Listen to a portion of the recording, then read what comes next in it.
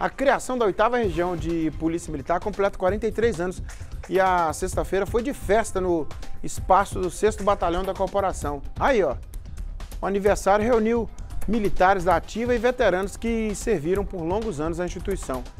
História é o que não falta. O Miguel Braz e Flávio Moto foram conferir de perto lá e trouxeram a reportagem aqui. Pode balançar. A solenidade realizada na manhã desta sexta-feira marcou os 43 anos de aniversário da criação da 8 RPM, Região de Polícia Militar. O evento contou com a presença de autoridades militares, familiares dos agraciados e demais convidados.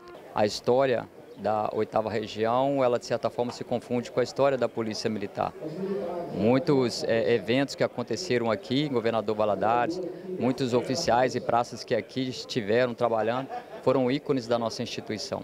Então a gente está muito feliz nesse momento de estarmos aí comemorando esse 43º aniversário da região.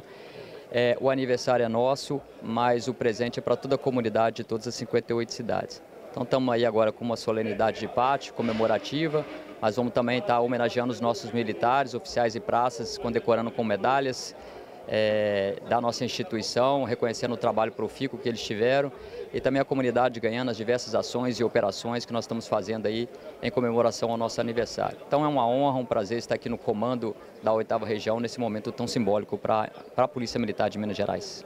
Na oportunidade, alguns policiais receberam medalha de mérito militar nas categorias prata e bronze, que se destacaram nos serviços operacionais.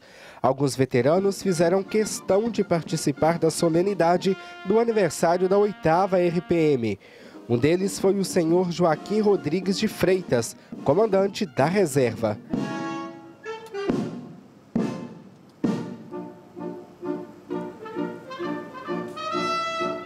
Representa a continuidade dos ideais, da dignidade, da fidelidade e do trabalho da Polícia Militar para a sociedade da região leste de Minas Gerais e para todo o país, quando necessário.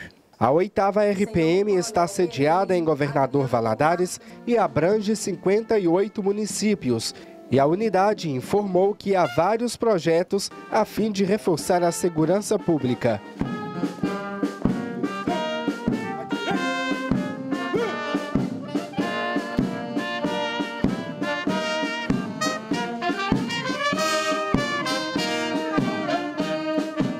São vários projetos que nós já estamos programando, né? já fizemos vários projetos aqui esse ano e vamos programar já para o ano de 2024, reforçando principalmente aí a nossa, a nosso serviço tecnológico, né? aprimorando a tecnologia para a gente conseguir ter esse aporte para a segurança pública.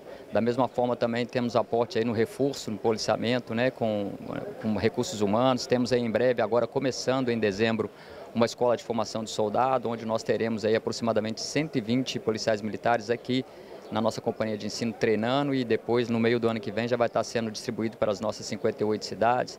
Temos reforço aí do nosso é, sistema de frotas, né, com aquisições de viaturas, modernização da nossa frota, muito trabalho, muito é, treinamento, isso é muito importante para cada vez mais a gente aperfeiçoar a nossa tropa e tudo isso voltando para a gente potencializar o trabalho nas ruas, o atendimento da comunidade, o que isso é o mais importante, né? a gente oferecer uma segurança pública de qualidade para todas as nossas 58 cidades.